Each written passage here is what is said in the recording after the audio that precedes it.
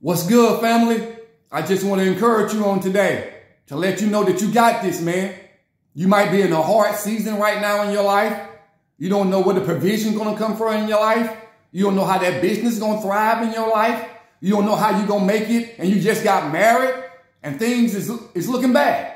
You don't know how you're going to make it. But I've got good news for you. With God, all things are possible. He is the God of more than enough.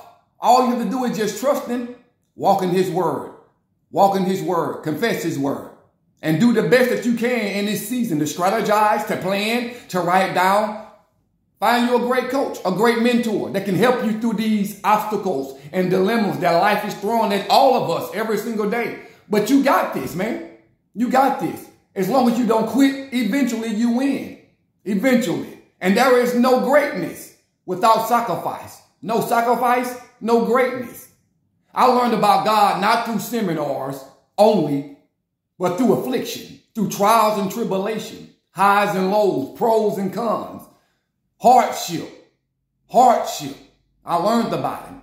I learned that he loved me, that he wasn't trying to kill me or wanted me to fail. He was prepping me. He was prepping me, preparing me for greatness. Because if he put you on the mountain of greatness without the preparation through the valleys, it's going to destroy you and kill you because you don't have the unction and the function to thrive on that higher level.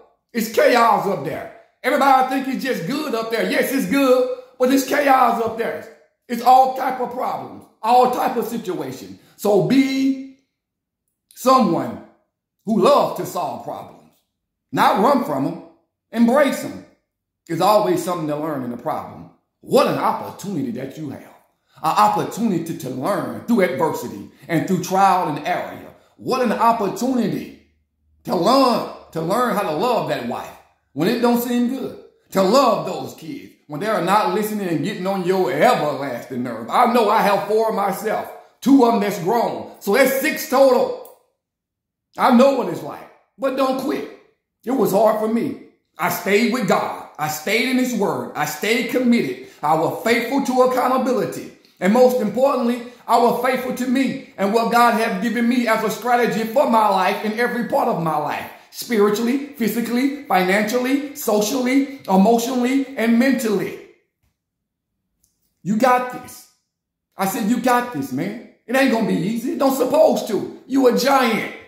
You're triumphant. You're triumphant. You got this, baby. Come on.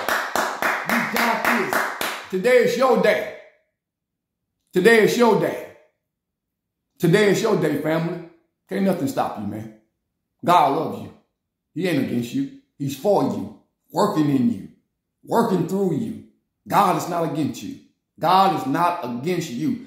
Circumstance and situation might be, you might not be favorable right now in this time, in this moment, in this season in your life. But trust me, it's serving you well even when you don't know it through affliction. It was good that I was afflicted. It was good that I was afflicted. It's so much that he's trying to teach you. Just humble yourself. Humble yourself under the mighty hand of God and let God show up and show out in your life when you follow him, his words, his principles, and what he calling you to do in this moment in time. God bless you, man. This Cornelius Anders music, get at me. And if you haven't found my music, it's all over mainstream digital platform. Spotify, iTunes, Amazon, Deezer, Apple Music, YouTube, Facebook, Instagram, etc., etc.. It's everywhere. It's gonna bless you. 26 amazing album, man. Go get it. It's gonna bless you and your wife and your family. I'm talking about things in, in life that people are not talking about in music. And I'm just being real and being raw and giving you exactly what God has given me through life experiences.